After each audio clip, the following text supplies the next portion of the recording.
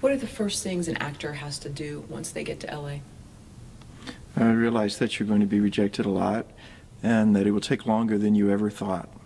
Um, I came with a two-year plan, and I thought that was uh, giving myself a lot of extra time, but I've been here four full years. This is going into my fifth year, and um, only in the last year did I start to have any type of decent success, and by that I mean that I could keep food on the table regularly. But I, but I came. Uh, I think that if you come, you have to decide: Am I going to cut all ties with other careers and do this or not. And, and I chose to not have a day job. And um, it's made it more difficult, but I couldn't have reached any success without it. When you came here four years ago, how many IMDb credits did you have? Two. And how many do you have now? Uh, 100. I just passed my 100th IMDb credit, and still nobody knows who the hell I am. So you can make a lot of movies without actually bursting into the, the big public consciousness. Uh, I think that's another thing actors need to understand. You know, so I've done a couple of TV movies for uh, Hallmark Channel, and they're great, and I'm glad to be in them. And they're yes, they help, but they do not change your life, and they don't change your career. There's so much noise that an actor has to burst through that you have to understand. Even if you get a big project, it may be a bump, but it's probably going to be a slight bump. It's more the accumulation of IMBD credits that make a difference. What about getting acclimated to LA? You came from somewhere else. I did. And how does one get acclimated to LA and also acclimated to actors' hours? Whatever that is. Well, I came from the East Coast. I'd done theater in New York and up and down the East Coast for 14 years, and I came out here expecting it to be much the same, um, and it's not. LA is not really a city. That's one thing you have to understand if you come here. It's a collection of smaller cities. Geography is very difficult, and um, your friendships, um, your ability to do auditions and work is all determined by traffic. and, and, that's a huge thing to realize when you come here. Um, if you're going to come to LA and try to be an actor, you have to be completely available emotionally, spiritually, physically. Um, your relationships, whatever they are, have to understand that this is your priority. Michael Caine said, and I think he's right, he said, this cannot be, if you want to make it, this cannot be just a full-time job. It has to be a full-time obsession. Um, and I find that to be very true. You have to be completely obsessed to the point that people who are not in the business will say, You're crazy. If they don't say that, you're probably not obsessed enough to make it in the business. What about looking for that side job while you're looking for those acting roles that are going to put food on the table? Where would you look for these side jobs, and what type of hours would you look for in terms of those jobs? If you think you have to have a side job uh, when you first come to LA, try to get one that's very, very flexible. A lot of people are bartenders, um, caterers, anything that's uh, part-time. Um, don't get something that's going to lock you into particular hours every week because invariably you'll miss an audition and that's not going to do anything. You might not have gotten the audition, but it kills your morale. So I came here with a no day job plan and uh, it's been tough. You know, there's been a lot of peanut butter years. It's good that I'm thin if you, that's another thing. If you're going to come to LA, you should probably decide that you're not going to eat as much as you thought you might eat or you're accustomed to eating in the first few years. You'll have times when you eat nothing but noodles and peanut butter. That's just the nature of the business. Other times you'll have steak. Uh, but yeah, your day job should be flexible. And what do you wish someone had told you before you got to LA? Or I, were you glad no one did say anything? I wish that before I came that someone had said, don't come because this is very, very difficult. It's a cruel town and a cruel business. No one cares, and you have to do it yourself. Now, I still would have come, but I would have come with more awareness of just how difficult this business is. All that people ever see about Hollywood is the gloss and um, the entertainment, and the glamour. That's all produced for the general public, not for actors. I wish that someone would produce content for actors saying, do not move to Los Angeles. It is very, very difficult. And then the only people who will do it are those who'll say, by damn, I'm going to do it. I can take it. Because that's the kind of spirit you have to have. You have to be tenacious, and you can never, ever give up, or you will not make it. I think one thing that's interesting is when people don't have somewhere to go back to, they tend to stick it out. Yes. What would you tell someone on how to emotionally survive coming here? because it is, it's very cold, and I think people need an outlet, whether it's reading, whether it's hiking, their church, whatever it is. I hike in Griffith Park. Uh, I come to this place every Sunday morning and spend time here, and this is my solace. I think you have to have something outside of yourself, uh, be it a relationship with God, a higher power, um, your relationships with your family. Um, you have to have other outlets other than acting because that's what allows you to, you know, to put your passion into your acting. At the same time, I know people who never think about acting except when they have an audition, and I think that's a big mistake. Um, you're a small business person, and you have to think of yourself as a small business person. So when I get up in the morning, I'm going to work. When I put my feet on the floor, I'm at work because I am my business. So there's not a moment that goes by. Even if I'm hiking, even if I'm reading, I'm always looking for things that I can apply to my business. I think that's the only way you make it. We're entrepreneurs. And that's another thing that people don't say to actors. They say, come here and explore your inner self and, and, and feel the character. Well, yeah, that's great, but first you have to get on set. And you don't do that unless you're a good business person. I don't mean to sound so earnest. This is what LA has done to me. This is what LA will do to an actor. If you achieve any type of success here, you become a bit more serious, and then people say, Boy, oh, you're kind of a hard ass. But it's a tough town. You made a living as an actor outside of LA for a good 12 years, correct? So, for the last several years now, you've made a living from acting in LA. What's your opinion on where an unestablished actor should live if he or she wants to make a living as an actor? If you want to make a living as an actor, live centrally. Um, Hollywood is great because it's easy to get to everywhere.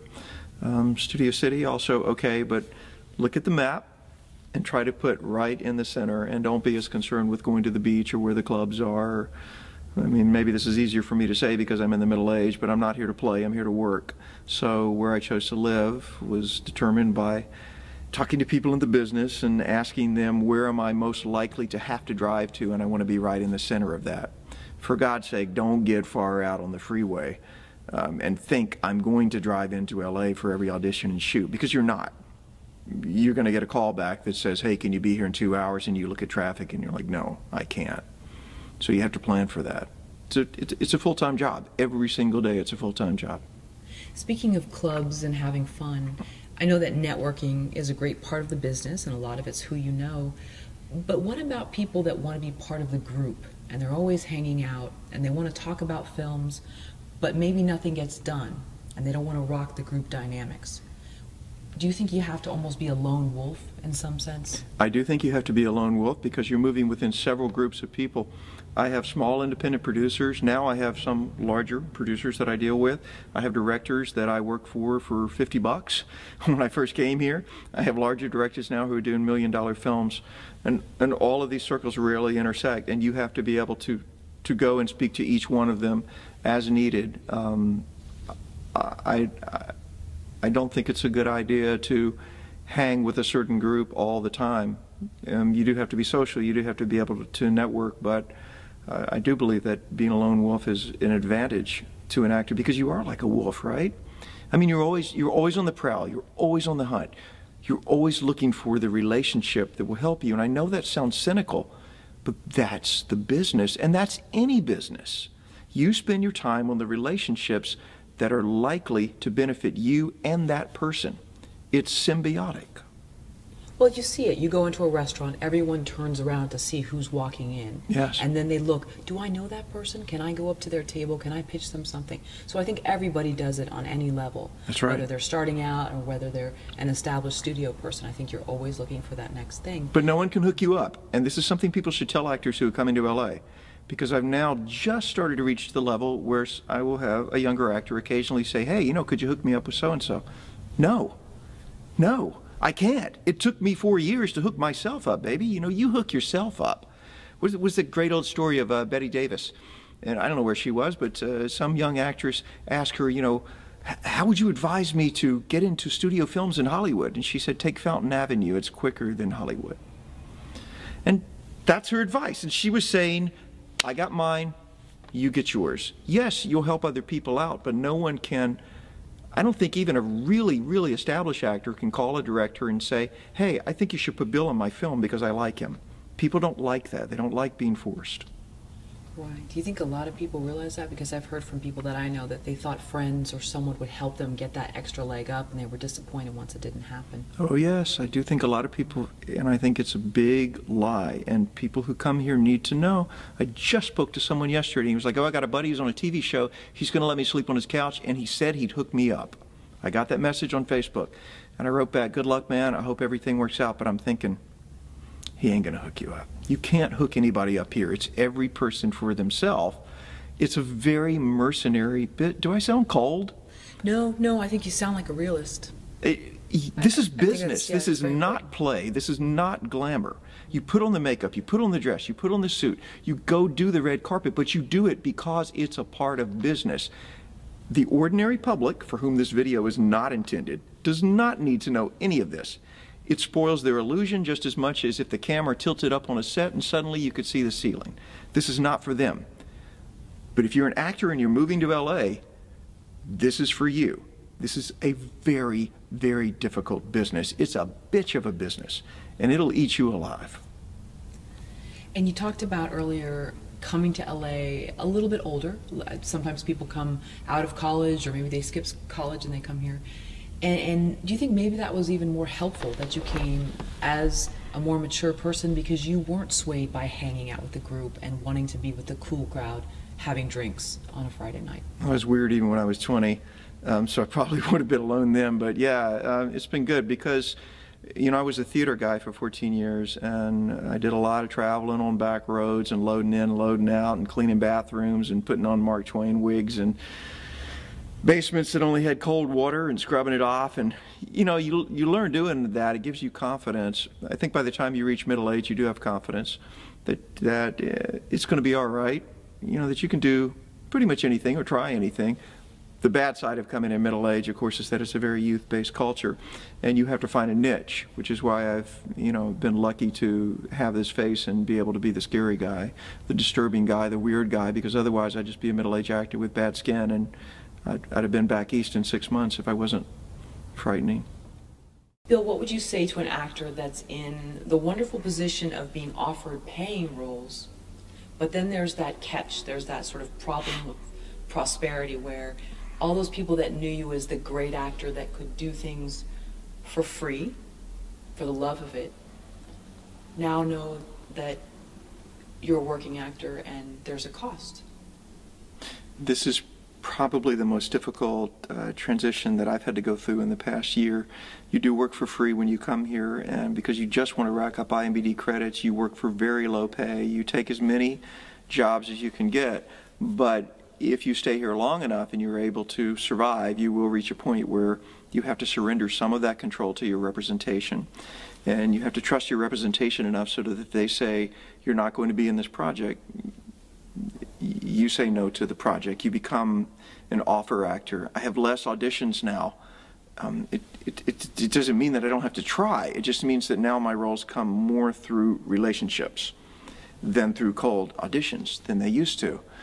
Um, because people have somewhat of an awareness of who you are, but it's very difficult when someone comes to you who you've had a prior relationship with at a very, very low rate, and they come to you with a project, and you have to say, please speak to my representation. You know, I'm, I'm, glad that we're friends and I love working with you, but talk to my representation. That's a big step, especially if you've come here as a do it yourselfer and you've worked very hard to get to that level. And then they speak to your representation and they may call you and say, Karen, I can't believe that I'm being talked to this way. I've heard that. And what they mean by I can't believe I'm being talked to this way is I can't believe that your representation is asking for a fair rate of pay. Um, and they'll say things like, well, it's coming out of pocket.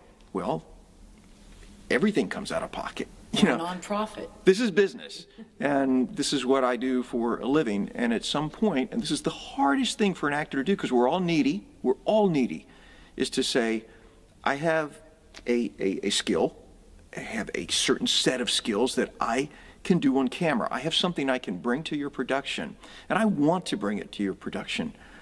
But you have to pay me to do it, just as people have to pay you to do your job. You don't ask a plumber to work for free. And I know that actors have to work for free, but as soon as you can stop doing that, stop. because it's a bad habit and it's not going to bode well for your future and your representation won't like it.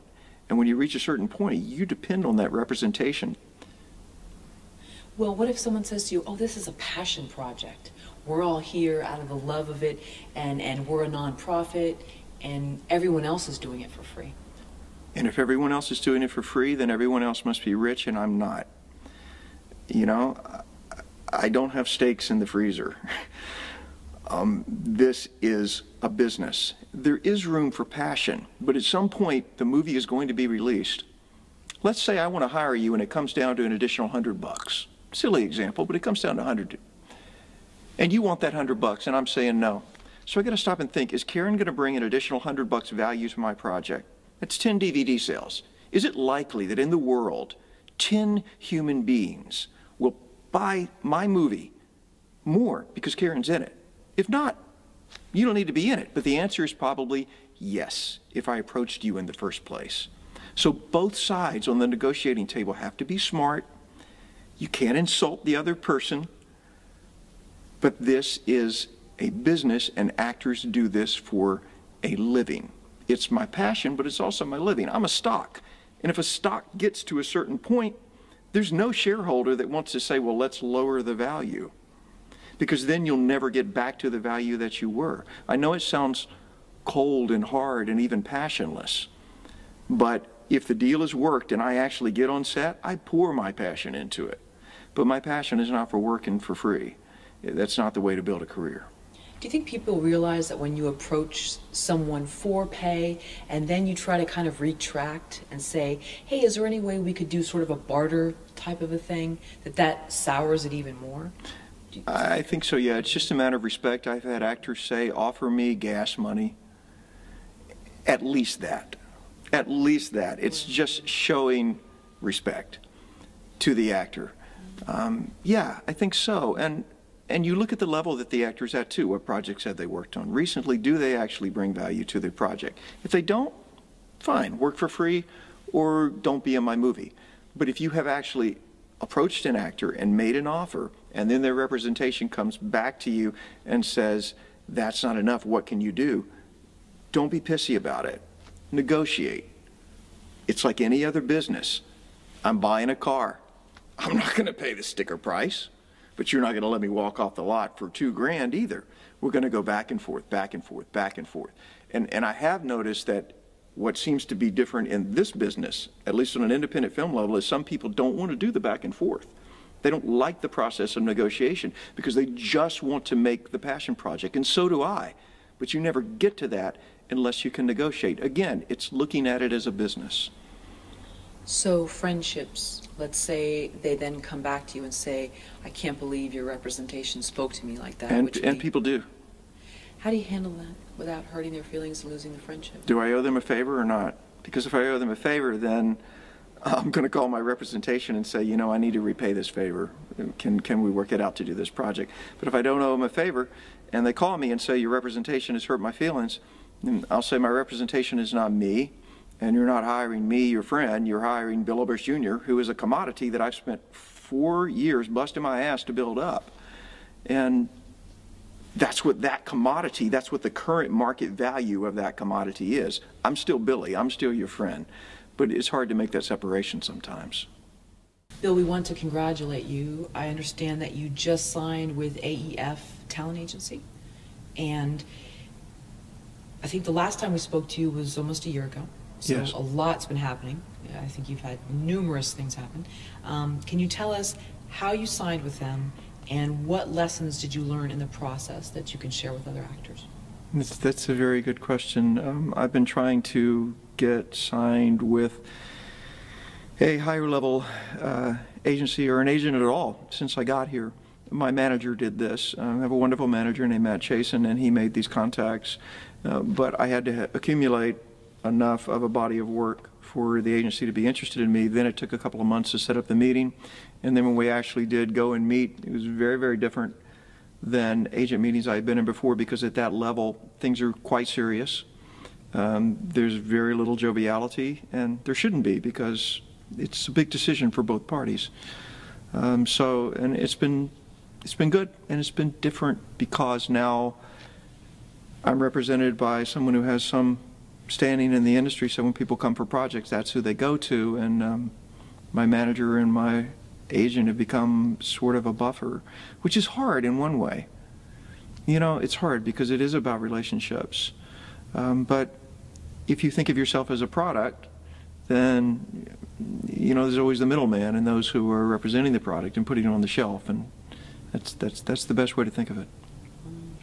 What can you tell some other actors about the process and what some of the steps you took, and also too from maybe prior people that wanted to sign you and you pulled back? Say no. Uh, be willing to say no. Uh, because someone wants to sign you doesn't mean that you should sign with them.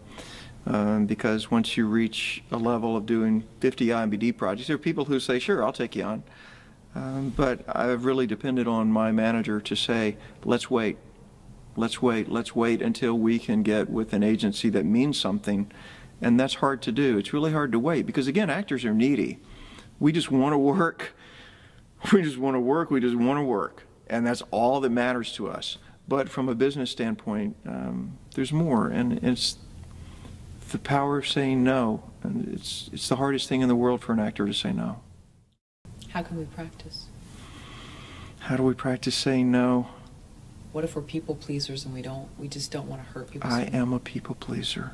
I want everyone to like me to the point that I have Google Alerts set up, and if someone on a blog or a review says something about me or a performance that is not favorable, I'll go there I'll leave a comment and say, You were absolutely right.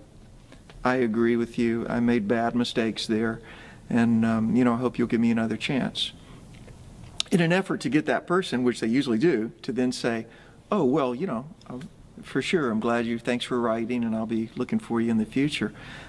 Like, it's pathological with actors that we have to have everybody has to like us and our relationship with everybody has to be okay. I don't know any actor who likes to have someone they think does not like them. I have one wardrobe person in the hundred projects I've done who doesn't like me. I hung the hanger the wrong way, and it was early on, and I didn't know the way to hang the hanger, but I was trying to be nice, and instead I made extra work for her. And I'm still looking for a chance to work with her again to make her like me. Is that sick? So, what's a soft no and what's a hard no?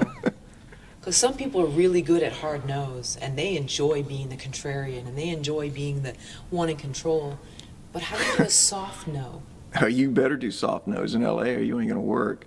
If all you can do is hard no's, forget it because you insult people. Um, a hard no is, Karen, you're crazy. Why would I work on your project? I will never, ever work with you or anybody that you know again because I've said that. And how many people will you tell that? But a soft no is, I really, really love this project and I love the role and I want to do it. And I wish that I were financially stable enough to be able to pick and choose my roles because if I did, I'd be on your set today.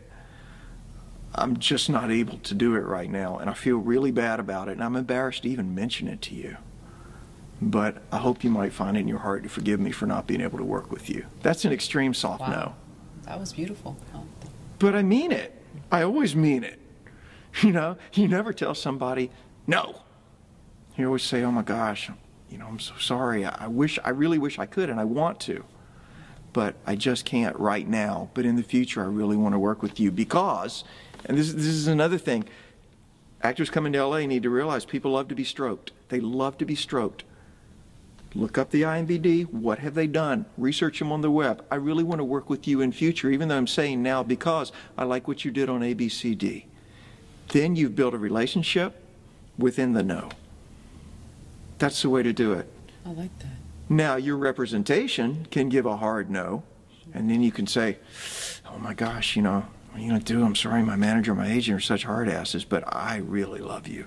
Keep your personal relationship good. Is there anything in this business that's real? Hearing myself talk, I'm wondering, is this entirely a business of illusion? Possibly. Yeah.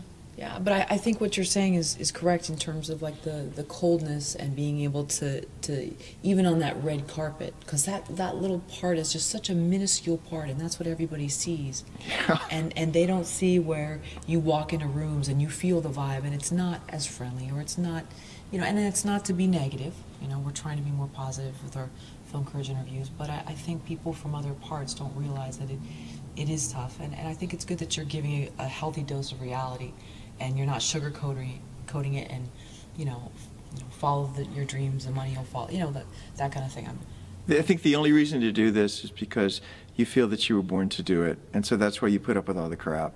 And that's why you think through all the business strategy. And that's why you do it all, is because it feeds something inside of you to pretend to be other people or to create stories where other people pretend to be other people. I have no idea where that comes from, but I think it's an inborn vocation. That's the only kind of person that should be an actor. And then your satisfaction is actually getting to do what you love for a living if you do all this other stuff. So I answer my own question by saying that's what's real. The passion that's within us, that's what's real. And you have to keep that burning and keep it alive even as you go through all of the business. And if you're able to sit in a cubicle five days a week and then just go to movies and live all that out on the weekends, then It's great, but Bless your don't heart. come to Hollywood. Bill, I believe your idea about acting is not just talent and creativity and imagination, but it's also this business side, this very left brain type of thinking about marketing and spending time on the computer and, and selling yourself and being your brand. As you've moved up the ranks, as you've been here four years and booked more roles and become more noticeable, do you see that other people in that stratosphere also think the same? And the ones that maybe you might have climbed past didn't think that way? Well, I don't think I might. I don't think I've climbed past anybody. They're probably right on my butt right now, and I just don't know it. but um, but the answer is yes. Um, the the uh, when you deal with actors who have been here longer than I have and have been more successful than I have, they're very very business minded, and very marketing minded, and very strategic minded. Uh, I don't think they would have lasted, especially not at my age. You know, when I when I look at actors who are my age and who most of them have either quit or they've made it really big. And so the people that I know who are in my age range who've made it really big have done it by being absolutely strategic when it comes to marketing. I think it's important. I've done some marketing seminars where I've spoken to actors and said, this is what you need to do. And then I've had some of them afterwards uh, contact me and say, well, can I pay you to do it? No, I mean, I, it, it's a full time job, and you have to do it from your passion. Nobody can do this for you. Um, but it's the thing, actors don't like to do paperwork, and, you know, generally we don't like that side of things, but it's essential. If you were to break down your day or your week, how much time of your waking hours are spent on the business side, the being at the computer, and how much is spent on the creative, oh, thinking of a great character, back study and, and, and rehearsing lines, and hey, can we meet to go over this scene? 12 hours in one hour. the one hour is a stretch. Um, I've got to shoot tomorrow. So when I get done with you guys, I'm going to walk around Hollywood and look at my lines and feel them and struggle with them and think, oh my God, I can't do this. And then I'll walk up to Griffith Park and I'll pray and I'll think I can't do this. And then I'll decide that I can do it. And then it's done. I'm ready to go to set. But I've spent the entire week before talking to you guys marketing and submitting and stroking relationships and looking for projects and reading scripts. So, yeah, a lot of it's business. Reading scripts is hard. When people start sending you scripts, you get five scripts in a week. It's wonderful to be sent scripts, but it takes two hours to read each one if you're actually going to read it and not cheat and just say, oh, my role is Bob. I'm just going to look for all the instances of Bob in the script. Uh, so, yes, the marketing, the business, that's 99.9% of the time. You mentioned walking around Hollywood reciting your lines. We just saw a young man the other day, and we were so fascinated by this guy who was in his own world rehearsing. Is that something that you do? Is that I, I found it fascinating to watch this. Yeah, because people think you're crazy, and it helps the sense of isolation that you have to have as an actor. um, you have to be completely in your character. And I do this, you know, I walk to the gym, walk back and forth with my lines, my little sides in my hands. I'm talking to myself out loud, and people stare and pull their children away. And, you know, it's okay. That's, that's what an actor does. I find that the best way for me to, to learn lines and to, to get the meaning of the lines is to move while I'm doing it. I can't do it while I'm sitting down. So it's good to walk and be in motion and try to figure out these lines. And the words will tell you how they want to be said if you walk with them enough. Like you might think you have a line reading, but just keep working it, keep working it, keep walking, keep moving, keep moving.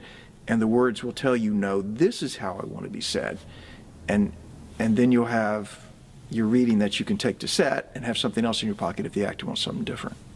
And to reiterate what you said, that's like a one hour, possibly portion of your day, or, and the other's 12? Oh yeah, if that. Yeah, if that, because it it doesn't to sit around thinking about how I might play a character that I haven't booked. It's of no benefit. I need to be spending this time booking the character. Then I can start working on the character. It's not a good business for dreamers.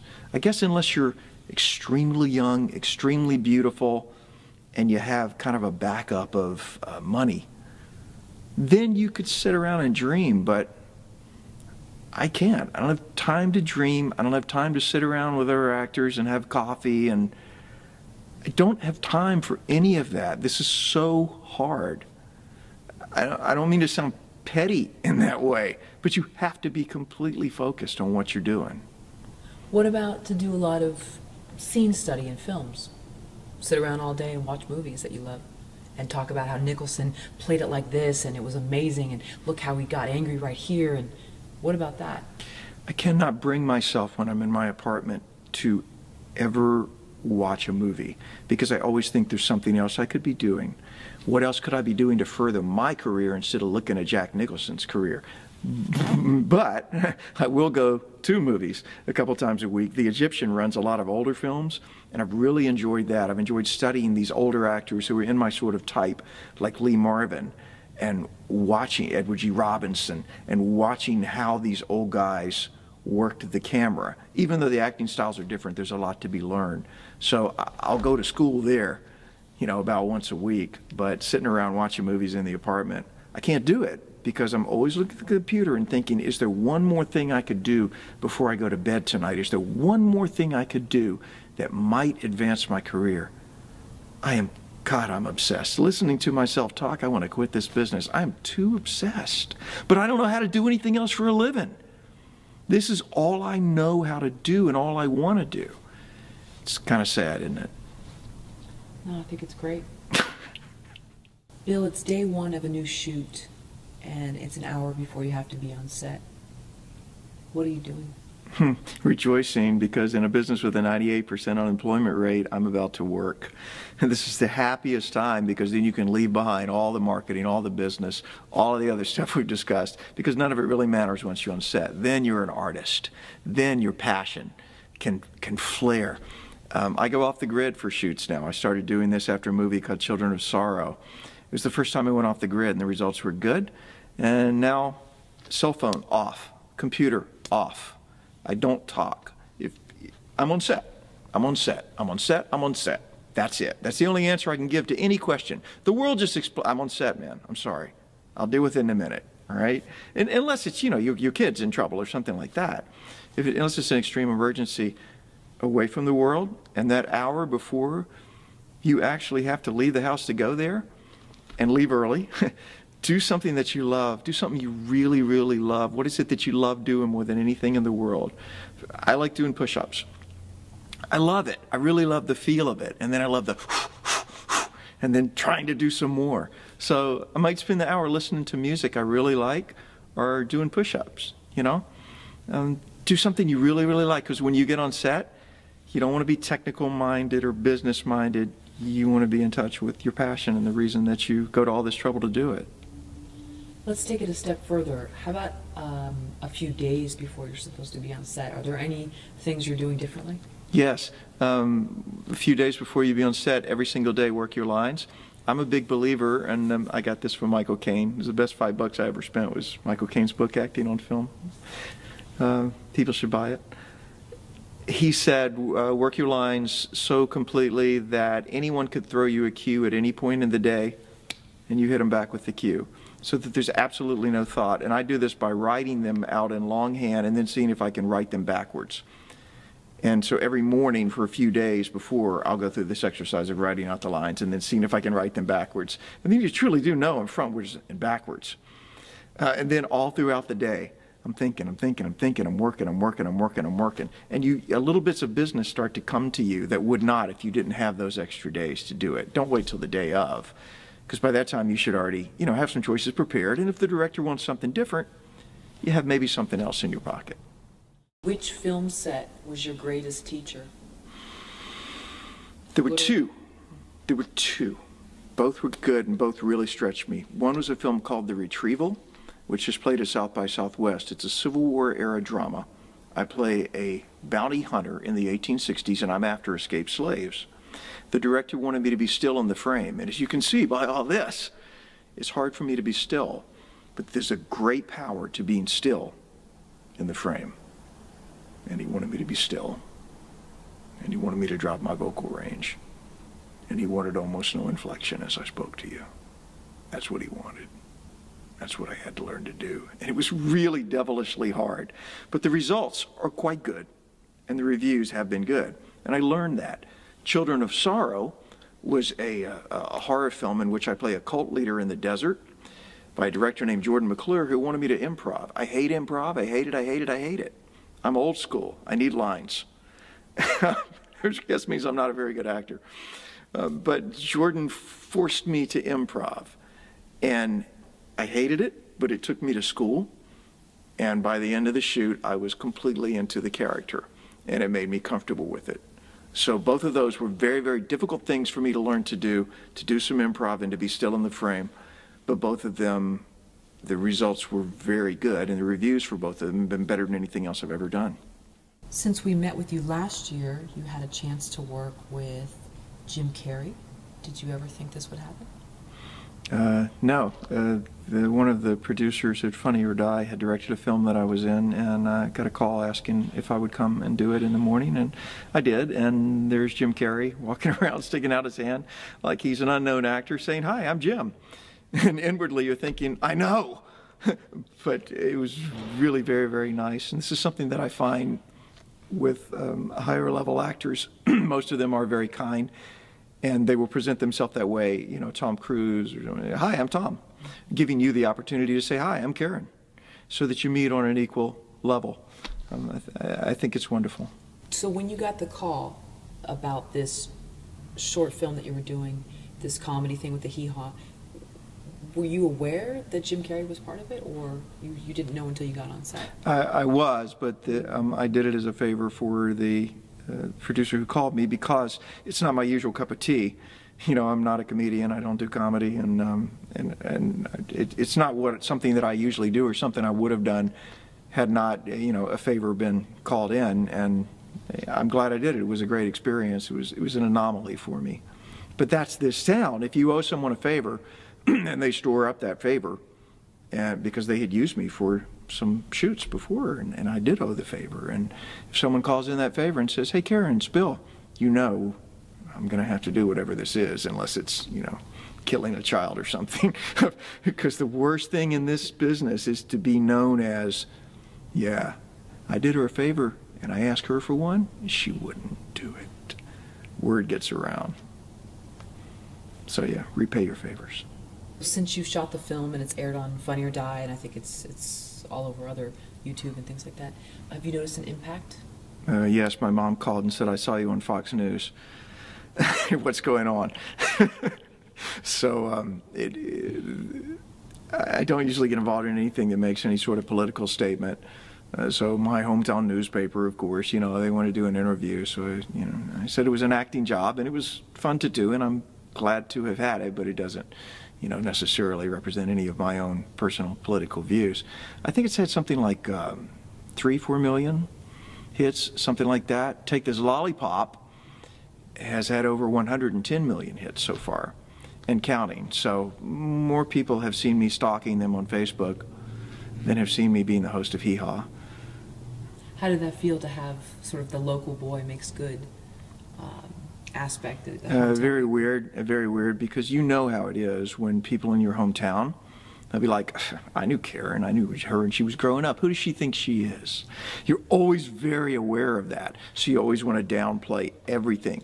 So, hey, local paper calling, you just won an Oscar. Oh, yeah, you know, I mean, it's, I needed a doorstop, and so I'll just, you know, put it there, so it's not a big deal. You never want to be the one that says, oh, yes. I knew I would do it. I hate that. I hate it. Always knew this was going to happen. Yeah. Yeah. What's more important for an actor, Bill, their resume or their IMDb page? IMDb is your resume. Okay. It's it's everything. Um, IMDb is where people go to see whether you've been working, who you've worked with. If you don't have a lot of credits on your IMDb page, and some of them are not in red, showing that they're in pre-production or filming or just in post, then you're not considered to be working. It doesn't matter what your resume says because people don't have time anymore to do anything other than give you a 20-second Google and the first thing that's going to come up is your IMDb. So I'm a big believer in pimping out your IMDb page. Put your tweets on there, put your blog post on there, try to get comments on there.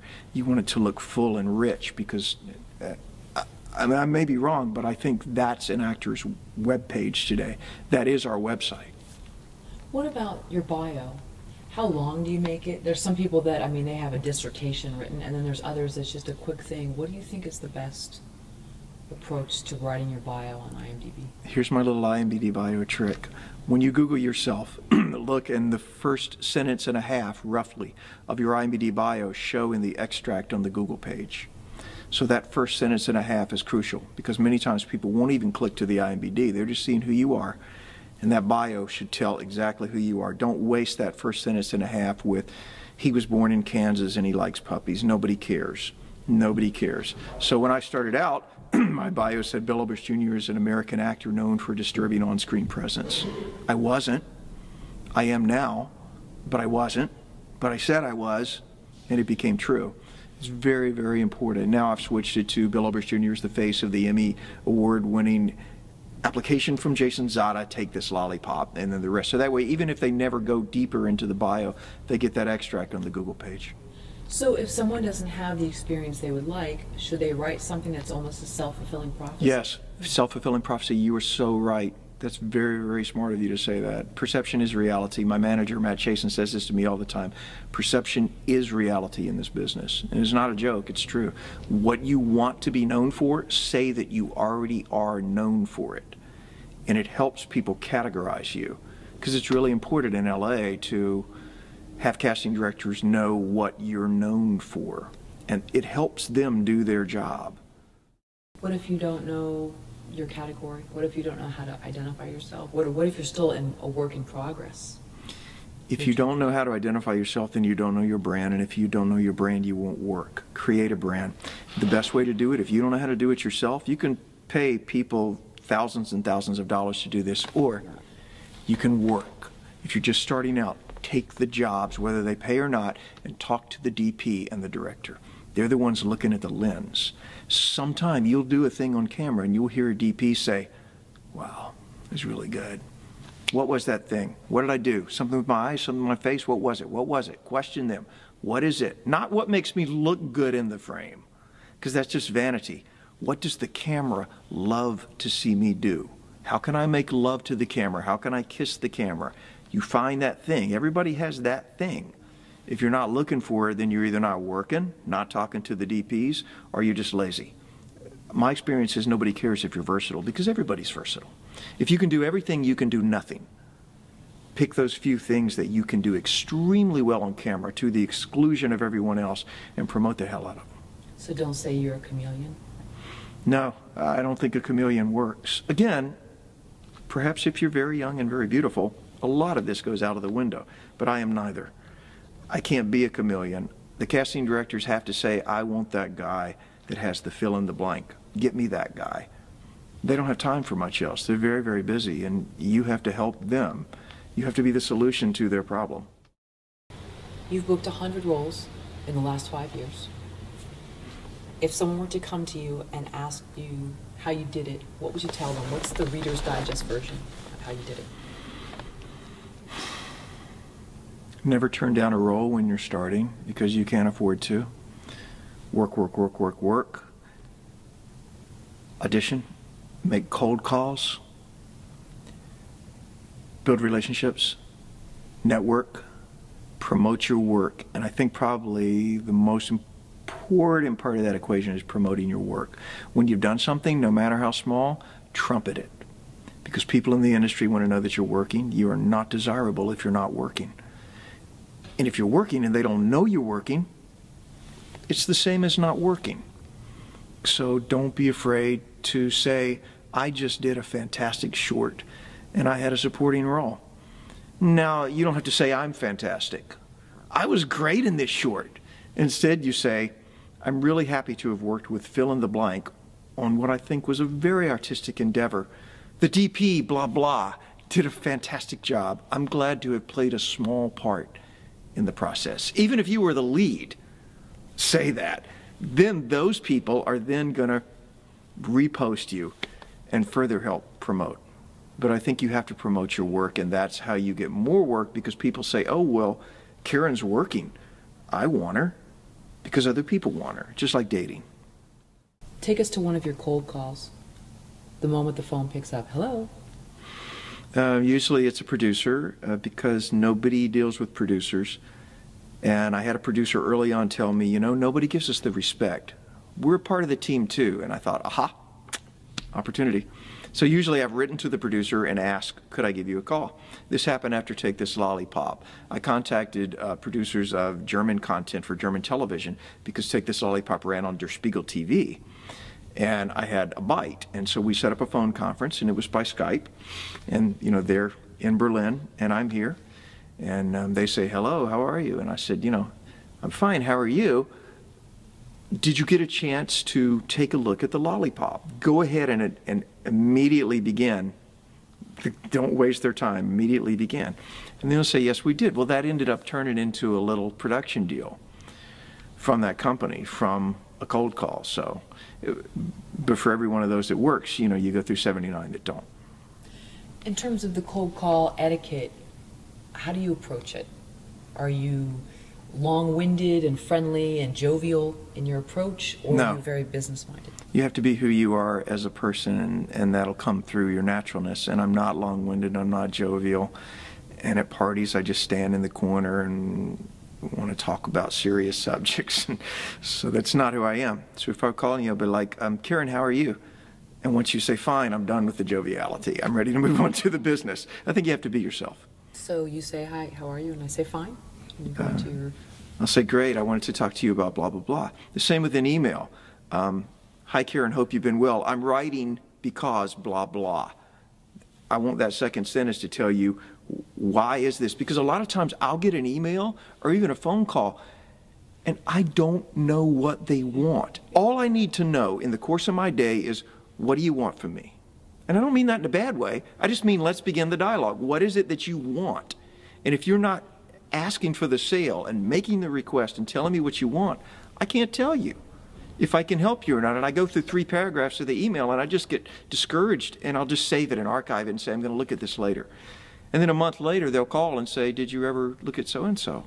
And what I want to say is, just tell me what you want. So, yeah, be, being direct really helps with this business. Of course, that was a long winded answer, it wasn't very direct.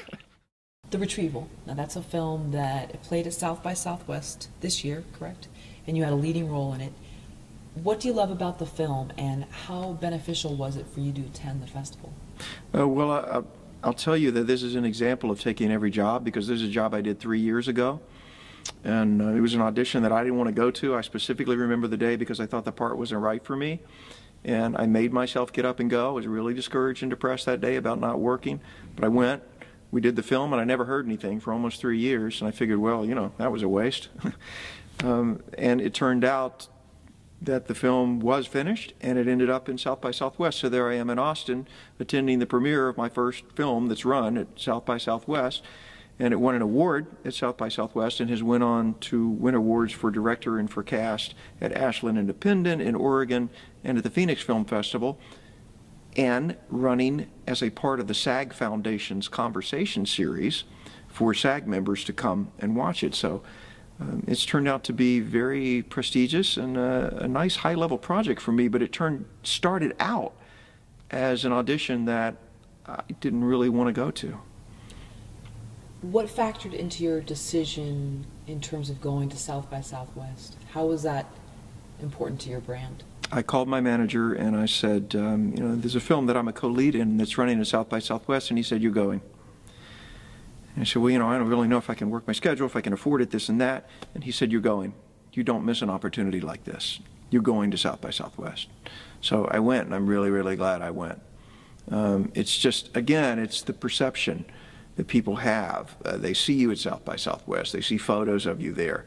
It, it's important. It enhances your status in the industry. In general, would you advise other filmmakers or actors to make sure to attend their festival? Yeah, if you're in a festival and you don't go, you're missing an opportunity. If put it on a credit card and go. Um, beg a room to stay with a friend, put an ad on Craigslist, do whatever you have to go to be there to be associated with your film. It's a golden opportunity. These film festivals are. Um, you know, you work, you work, work so so hard on a film, and you've got it in front of an audience, and there's press there. For you not to be there is it's it's a real big opportunity missed. If you can go in any way, go.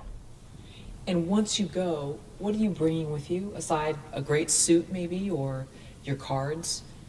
What are you doing so that you're not that guy that's you know totally promoting themselves, but at the same time you're available, you're approachable. You're asking other people about their work. Everybody that you meet, everybody has work they're doing that they want to promote Everybody has something they want to tell you. Don't talk about yourself. Talk about them. Hi, I'm Bill Oberst Jr. That's all you have to say to somebody in the industry. Hi, I'm Bob Jones. They will tell you then everything they want. You listen, you nod, you ask intelligent follow-up questions, and they will say, wow, he's one of the best conversationalists I've ever, and that's because you talked about them and you listened to them. Everybody wants to be listened to. So never start sentences with I. In other words, if you're at the film festival, they don't need to know what else you've been. Well, yes, I just did this web series and I'm working on blah, blah, blah, and I went to producer's callback. You're already at the film festival. You're in the freaking movie that's running at the film festival. Now let it be about them. And that makes you appear even bigger. Because if you're with a big star, I don't think that you're ever going to hear them say, you know, oh, I just finished this movie with Scorsese. They don't need to say that. And so that's the kind of aura that you want to put off, is that you're about other people. Telling all my tricks here. What would you tell a younger actor seeking an agent? Before you approach an agent representing you, um, put yourself in the agent's shoes and have empathy for them and understand that if they say no, it's nothing personal. This will also help you understand what the agent may be looking for. The only reason that an agent's going to be interested in you is if they think they can make money off of you. Understand that. It's not about whether they like you or not, it's whether you, as a commodity, can make them money if it's a good fit. And um, they'll be very interested in you if they think they can make money off of you. So when you make your approach to them, why are you marketable? You know, what about you makes you special or different from any other actor in your category? Know those things and don't be afraid to say them and, and to ask for the sale. To, to end the conversation by saying, reiterating those points by saying, you know, Karen, I would really like to be associated with your agency because ABC, which are the same things you said at the beginning. It's a business sales call. So this hypothetical young actor is going to meet for an agent the first time. Yes. What are they doing the day leading up, two days leading up, and then once they get to the office? Treat it like an audition, um, which means you are going to be early. You're going to be well prepared. You are already going to have had the conversation in your head so many times that you're absolutely comfortable. You're never flummoxed. You're going to wear something that you feel really comfortable in, and that morning you're going to do something that you really love to do and have plenty of time to get there. That's so important in LA. Do not ever be rushed because it'll show in your face. And then when you get there, listen. When I had my agent meeting for the agent that I just signed with, the, she didn't ask me very many questions. Mostly, I listened. Because if you're sitting across the desk from an agent, they've already done their due diligence, they've done their homework. You don't have to impress them. They'll ask you what they want to know of you. What they really want to know is they want to look into your eyes and say, Can I trust you and you trust me? Sounds like that's a really interesting tip and a very big part of what you do is getting your mindset in a great f- place before you go somewhere. Understand that as an actor, you're an entertainer, and your job is to entertain. Um, even if you're meeting with an agent, you want it to be a pleasant encounter for them. You want them to feel uplifted. You want their day to be brighter. Even when you're doing an audition, before you begin the audition, you're an entertainer. I don't mean you sing and dance. But one of the best tips I ever got was say your name when you come in the room. So I come in the audition room, and instead of standing there looking for my ex, I say, hey guys, I'm Bill Oberst Jr. That's it. It changes the atmosphere of the room. It makes everybody kind of brighten up or smile a little bit. You're always an entertainer if you're an actor, and your job is not to bitch or be concerned about yourself. Your job is to lift other people up. That's what an entertainer does. We lift people up and we make their days brighter. An entertainer is a servant. I think that's a good mentality to have. That's great. So you're not, what if you have to do your taxes and you know that you have to be there, or just something that's just painful? Will you schedule it for another time just so you can spend 15 minutes listening to music, doing push ups, Yes. and going to sort of that happy place? Because if you don't, you'll be filled with self pity. And self pity is anathema to an actor. You'll never book if you, because they'll feel it, they'll smell it. You need to be confident and successful. If there's something unpleasant that you have to do, yeah, try not to do it the day that you have an audition or you have a meeting with an agent or any type of interaction. This morning when I got up, before you, I talked to you guys, I made myself turn the computer off for an hour before I came here. And it was really hard because I thought of a lot of things I could do online.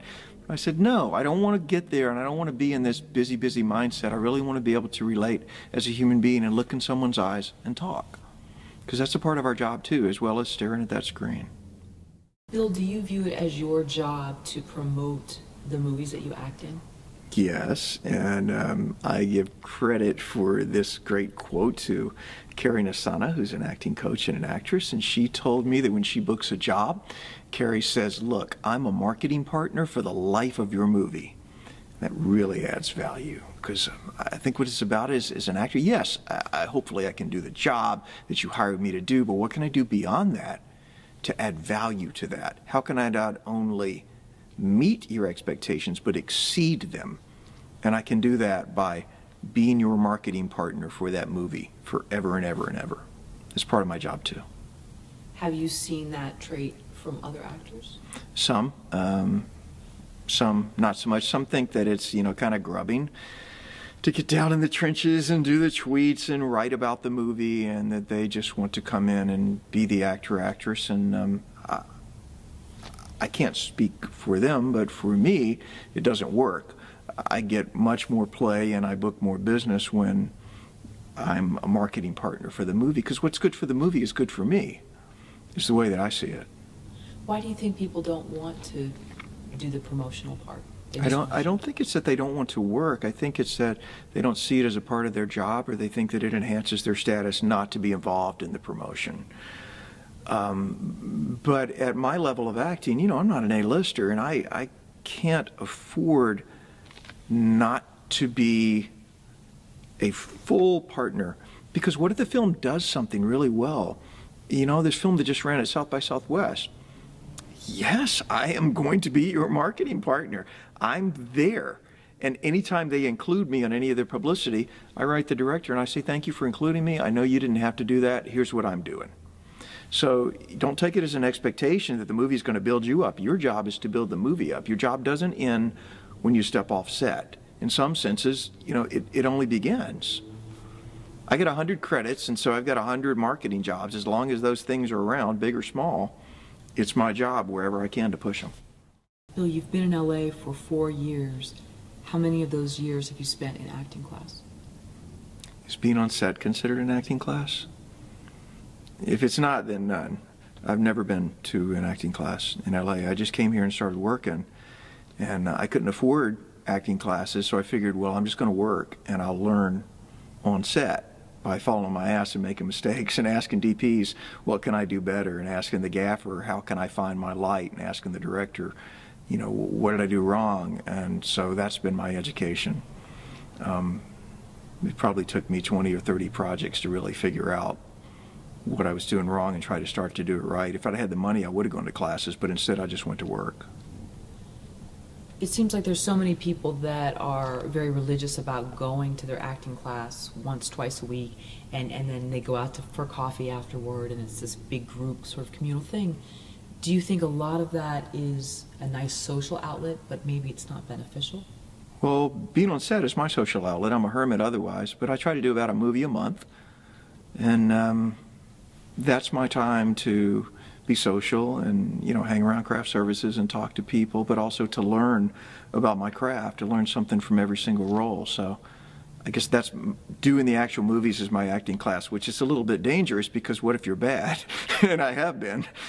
But uh, yeah, again, it's just financial. You know, I never had the money to spend on the acting classes, so I just decided, well, I'm just going to start doing movies and learning as I go. What about someone else who comes to LA and they don't have money for all of the gurus and the the workshops and all these different things that are constantly marketed to? Yeah, I don't. I don't have the money for those things. So what do they do? They go on YouTube. They Google videos. They work. Go to work. Go to work. That's what you're here for. Go to work. You can't tell me that in Los Angeles you can't find work. You cannot tell me that somewhere in this city right now there's not someone who will ask you to be a part of their project. It may not be paid, and if it pays, it may not be much. But if you're just starting out, that's what you do. Go to work. Don't moon about it. Don't think about it. Go to work. Get your ass on set. Get in front of a camera. Even if you think you're not ready, get in front of a camera because that camera will teach you. It will be your teacher. And don't watch movies during the afternoon in your apartment. What's that? Don't watch movies during the afternoon in your apartment. Why watch a movie when you can be in a movie? Which do you learn more from? Be in the movie. How important is an actor's reel as a tool to help someone book work? Mm, your reel is huge, and your reel should be quick. And a trend that I've noticed even over the five years that I've been here is shorter clips. Uh, and clips that are well labeled and not not just one long reel, but short clips. Uh, Karen speaks French and blah, blah, blah. Um, Karen in rom-com, blah, blah, blah. You know, split those things up on YouTube. In addition to your physical reel, have lots of very short clips, a minute or less, that people can look at. Also have some longer scenes, but there's a, at least in my experience, there are a lot of people who don't want to sit through an entire scene. They don't want to take that journey with you because they're in the middle of their day. They just want to know what you look like on camera. So give them that opportunity in very short clips. And then of the sort of actor's tools, the reel, the resume, the IMDb page, the agent or the manager, if someone had to pick just one as the most crucial, which would it be? You can't pick just one.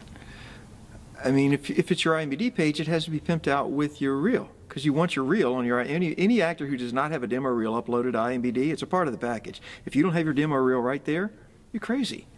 That's so. I would say if you can't do anything else, have an IMDb page and a demo reel. But you know that's not even that's not even a false answer. Everything you've mentioned is going to be needed eventually. But if you have to have something to start with, get the IMDb page up, get the pictures up, and get your reel up of the tools available to an actor, the reel, the IMDb page, the resume, the agent or the manager, is there one that stands out as the best that you could really have without the rest or no? The Internet Movie Database page is the best tool that an actor has because it's the most visible one. So um, you got to pimp that page out. I know actors and actresses who don't have pictures on their page. Very bad you know, loaded up with pictures, and not just pictures you think are pretty, but pictures which show your brand. And I have some people who will do like, you know, I want to show my versatility, so every picture looks different. I'm not a fan of that. I think you should constantly reinforce what it is that you do.